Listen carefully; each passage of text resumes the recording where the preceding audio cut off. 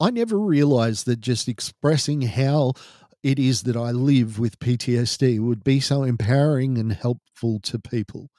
I'm going to tell you the story today that I go into schools and tell. Um, spoiler alert. it's it's the story I tell in school.